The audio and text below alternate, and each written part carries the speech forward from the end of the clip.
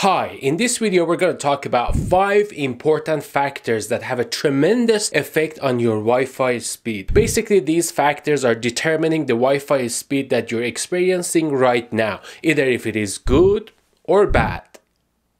Number 1. Sometimes people wrongly accuse their Wi-Fi router of causing slow speeds when the issue is actually something else. The first and most important device that dictates my Wi-Fi speed is obviously my wireless router or access point which provides and broadcasts the wireless signals. Essentially, the Wi-Fi speed that I will experience in this network will not exceed the capabilities of this device. But that's only one side of the story because we need to keep in mind that as much as the wireless router is essential for Wi-Fi speed, the wireless client such as a smartphone or laptop is important too. Even if we have the fastest wireless router in the world, if the client is old and slow, it becomes the bottleneck and I won't be able to take full advantage of my wireless router's speed when using this client. I have seen people purchase a new Wi-Fi system to improve the speed, but then they realized that their issue was with the old and slow client, not the router. So it is best to make sure the clients and the Wi-Fi router are using more or less the same Wi-Fi technology. Number 2. The stronger the signal, obviously the faster the speed. So if I'm here and I run a speed test where my Wi-Fi connection is strong, I'll see good results. However, if I'm here, obviously I'm not gonna see good results because the signal is weak and so is the speed.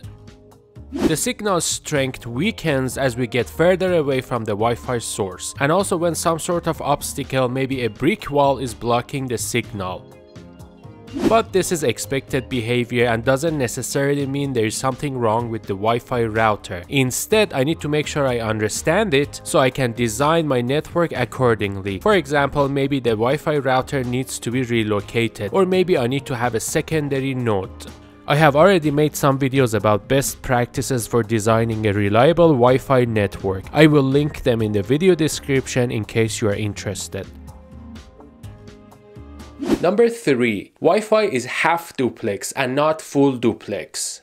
An Ethernet connection, which is a wired network connection, is capable of operating in full duplex mode, allowing data to be sent and received simultaneously. However, that is not the case with Wi-Fi as it operates in half duplex mode. As you might have guessed by now, half duplex means that these two devices cannot send and receive at the same time. They have to do it one at a time, otherwise they can collide with each other.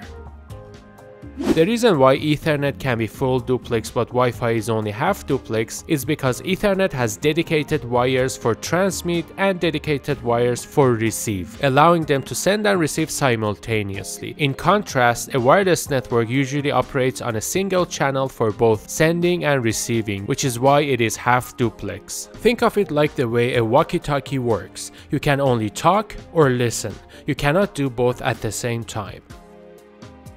This is essentially how a wireless network works using a single channel. The half-duplex nature of Wi-Fi obviously has a negative effect on their speed.